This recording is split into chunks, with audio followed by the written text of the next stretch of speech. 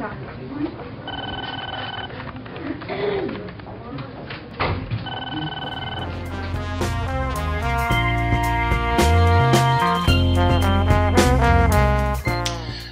Muy buenas. Lo que ha sucedido en el ayuntamiento de Ourense es de traca. Saben ustedes a lo que me refiero. Es tantos gin tonics, cubatas, comilonas, festolines, comidas ahí fastuosas en la playa de Mallorca, en Toledo, en Madrid. En fin, eh, todo por supuesto a cargo del erario público, a cargo eh, del presupuesto, del dinero del ayuntamiento, del dinero de todos. Bueno, si lo que ha sucedido ya es eh, espectacular y te dice mucho del respeto que tiene esta gente por lo público, por el, por, bueno, por el dinero de, todos los contribuyentes, eh, casi es peor la respuesta que ha dado la portavoz del Grupo Socialista en el Ayuntamiento de Ourense ante semejante desmán.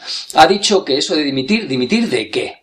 Y que gracias a personas como ellos se solucionan los problemas en el mundo. Yo más bien Mm, ante esta acojonante respuesta le daría la vuelta y diría que mm, por culpa de personajes como estos, como ellos mismos, eh, nos vemos mm, como nos vemos en muchos casos y que muchos de los problemas que tiene la sociedad vienen precisamente por actitudes como esta. Y si acojonante ha sido la respuesta de la portavoz del Grupo Socialista en el Ayuntamiento de Urense, la respuesta del alcalde ha sido más o menos, por lo menos similar o de la misma gravedad. Ha dicho que eso de dimitir, que de dimitir nada, que se irán eh, cuando les desalojen las urnas, cuando una mayoría les eche. Bueno, pues yo desde aquí le diré al alcalde de Urense que los votos eh, las elecciones te dan legitimidad a tu puesto de trabajo, pero nunca te dan la razón. La razón hay que ganársela.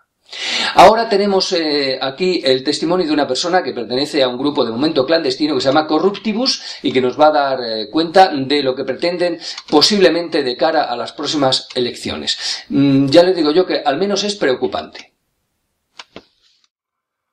Hola. Hola. ¿Quiénes forman su organización? Pues formamos alcaldes y concejales que hemos sido corruptos, aunque nunca nos hayan pillado. ¿Y son muchos ustedes? Hombre, mucho, mucho. Lo que pasa es que nos hacemos notar bastante. ¿Y qué pretenden? Pues lo que pretendemos es que espampe un poquito el temporal que está cayendo y presentarnos a las elecciones como un partido nuevo, como un partido más eh, a las elecciones nacionales. Pero siendo ustedes gente tan corrupta e indeseable.